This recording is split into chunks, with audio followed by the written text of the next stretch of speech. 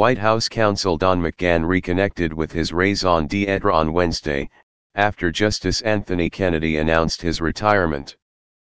More than once in the last several months, McGahn has thought about leaving his job, sources say, out of exhaustion from the perpetual grind of an unprecedented White House.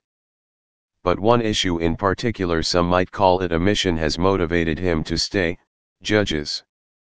In the early days of Trump's campaign, McGahn began an effort to reshape the federal judiciary. He's dedicated himself not only to the Supreme Court, but to lower courts as well.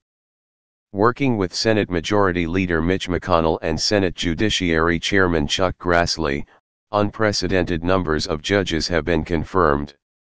The effort has paid off. The Trump administration had a banner week in the courts. With the addition of President Donald Trump's first nominee, Neil Gorsuch, conservatives won over a dozen 5 to 4 cases at the Supreme Court this term.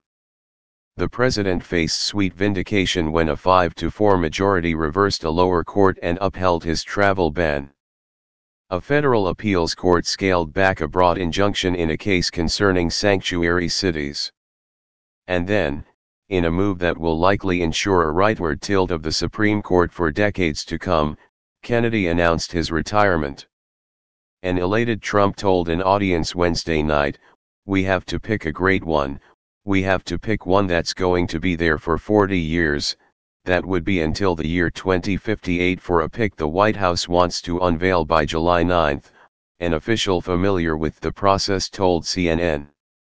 This will move quickly, the official said. White House War Room Many of the people who were central to the Gorsuch nomination, led by McGahn, are reassembling. After visiting with Kennedy on Wednesday, the president called Leonard Leo, the executive vice president of the Conservative Federalist Society, who advises the administration on judicial picks. In an interview, Leo said the president was excited about getting the new process going. The president is very committed to the Gorsuch model and a very disciplined selection process where the nominee has courage and independence of judgment and will interpret the Constitution the way the framers meant it to be, Leo said. A short list has emerged drawn from a longer list the president released months ago. Five judges Brett Kavanaugh, Amy Coney Barrett, Thomas Hardiman, Amul Thapar, and Raymond Kethledge have made the short list as well as one senator, Utah Republican Mike Lee. A source says the president has yet to meet Kavanaugh and Barrett. Trump interviewed Hardiman the last time around, and his senior advisers met with Kethledge.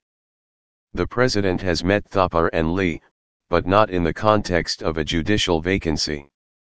Once a nominee is announced a Sherpa will be assigned to guide him or her through the meet and greets with senators the nominee will eventually fill out a questionnaire.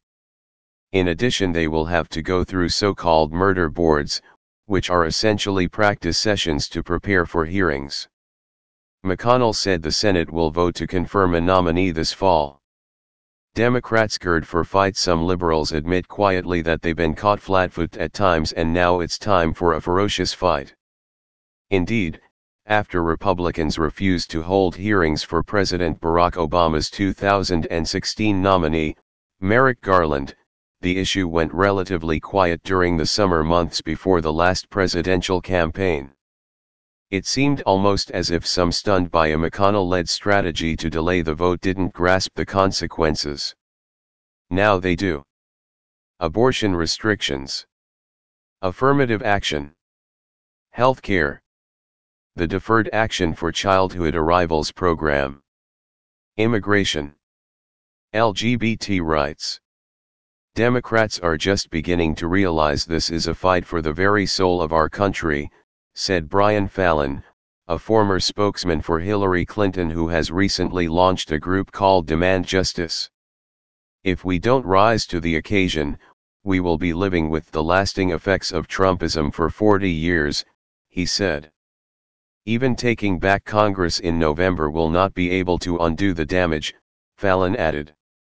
For now, the strategy is twofold, educate the public and try to peel off votes.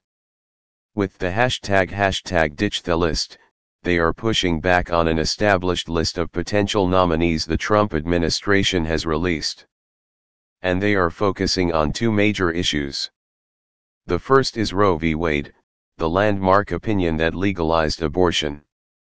Without Kennedy on the court, liberals fear, it could be in jeopardy.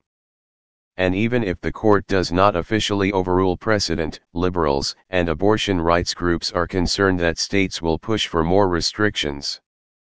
The right to access abortion in this country is on the line, said Dawn Laguens, Executive Vice President of Planned Parenthood Federation of America. Senate Democrats blasted out a missive the day after Kennedy's announcement. Roe v. Wade is under assault was the headline. The release noted that at least 20 states have legislatures that are poised to enact abortion bans immediately if Roe v. Wade is overturned. The Democrats also plan to highlight the administration's most recent move, in a court case in Texas, to stop defending key provisions of the Affordable Care Act. The provisions, which have proved extremely popular with Americans, forced major changes to the health insurance industry.